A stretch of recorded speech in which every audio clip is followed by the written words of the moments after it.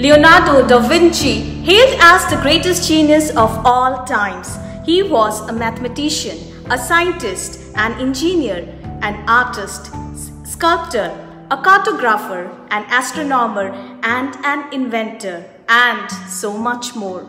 He was a man who was ahead of his time and lovingly called as the Renaissance man.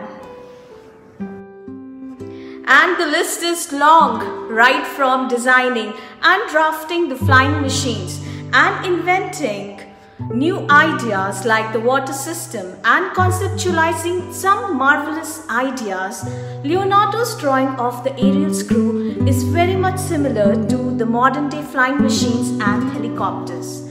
Now, Leonardo was a polymath and one of the most diversely talented men of all times. He was not only an astute artist who painted the Mona Lisa, the Last Supper, the Vitruvian man is the study of ideal proportions of a human body. It demonstrates the blend of mathematics and art. Leonardo had the curiosity to observe and imagine. His detailed sketches had a profound artistry, be it in the folds of a drape or the anatomy of a human body or the inventions that he was obsessed with. Now doodling and maintaining a journal is a great idea to structure your thoughts and to amplify your creative quotient. Leonardo often used doodling and freehand designs and drawings to discover new ideas. Now this is a technique that worked well for him. Doodling is an interesting method that captures the ideas that can be lying hidden in your subconscious mind and it could be a tool to unlock the secret archives that are often stored in the depths of our mind. And all one needs is a simple pen or a pencil to conceive and to improvise your ideas on paper. The lines, the shapes, the symbols and the words involved in the process of doodling can be a representation of your dreams and your thoughts and can even bring you some new ideas.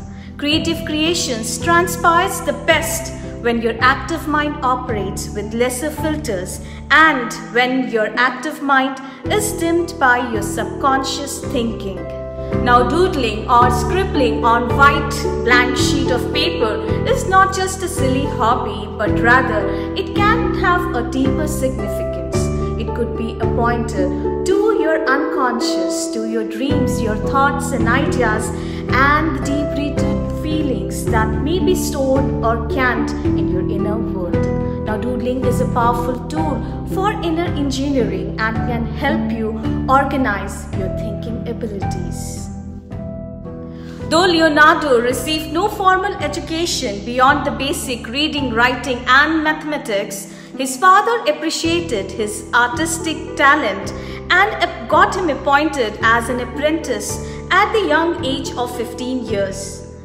Leonardo was born in Italy and lived till 1519.